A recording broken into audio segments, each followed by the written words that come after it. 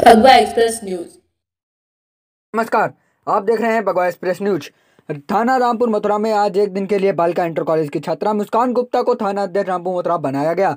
उनके साथ में दो छात्राएँ सहायक कांस्टेबल के तौर पर मौजूद रहीं। अरपर शेखर काफिया, उन्होंने रोड मार्च करते हुए दो चालान किए और चार प्रधान, प्रधानापत्रों पर कार्रवाई करने के निर्देश दिए और का आर्यव्रत बैंक को चेक किया और बैंक के आला अधिकारियों को मास्क लगाकर काम करने की हिदायत दी। इस अवसर पर mission Modi again PM team Rampur Mathura के पदाधिकारियों द्वारा मुस्कान गुप्ता को सम्मानित किया गया। इस पर mission Modi again PM Rampur Mathura block media प्रभारी अमन दीक्षित के साथ थाना अध्यक्ष से विशेष चर्चा हुई।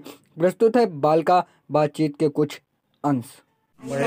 महिलाओं के लिए अ, ये उत्तर प्रदेश सरकार अच्छा कर रही है। हाँ महिला के लिए बहुत अच्छा कर रही है। आप दस नब्बे हेल्पलाइन महिला हेल्पलाइन नंबर बनाई हुई है। ये बहुत अच्छी महिला को कोई प्रॉब्लम होती है महिला इस पे कॉल करती है इससे हेल्प महिला हेल्पलाइन पहुँच जाती है। सभी लेडीज़ जाती है महिला की हेल्प करने के लिए।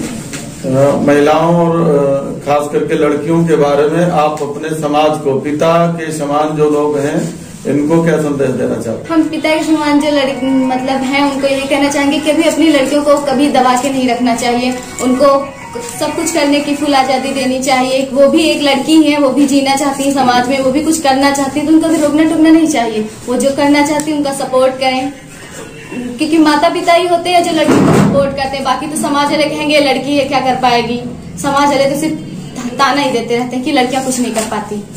आप अपने गुरुजनों को, शिक्षकों को के कुछ कहना चाहती हैं? हाँ हम कह, क्यों कहना चाहेंगे? हमारे शिक्षक बहुत ही अच्छे हैं, हमारे गुरुजन जितने भी हैं, सब बहुत अच्छे हैं। हमारे स्कूल में सब प्रेरणा भी देते हैं कि लड़कियों को हमेशा आगे करना चाहिए, लड़कियों को हर चीज़ में, हर हर हर जॉब में जो भी जॉब हो, हर चीज़ में उनको आगे होना चाहिए। कभी अपने को, अपने आप को पीछे नहीं करना चाहिए कि हम उनसे काम है, ये नहीं कर पाएँगे। उनको हमेशा सबसे आगे खड़ा होना चाहिए।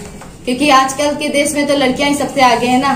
क्या आपको पता है पुलिस बनने के लिए कितनी मेहनत करनी पड़ती? है बिल्कुल पता है पुलिस बनने के लिए पूरी मेहनत करनी पड़ती पढ़ाई करनी पड़ती है पूरी जी जान लगाना पड़ता है बनने के लिए। फ़िज़िकल भी फ़िज़िकल वर्क भी। तो वो सब आप करने के लिए तैयार फैमिली को भी छोड़ना पड़ता है फैमिली को भी काम बहुत कम टाइम देना पड़ता है वो सब करने के लिए हम तैयार हैं। जो ड्रीम होता है उसे पूरा करने के लिए कहते हैं कुछ पाने के लिए कुछ खोना पड़ता है तो वो तो करना ही पड़ेगा।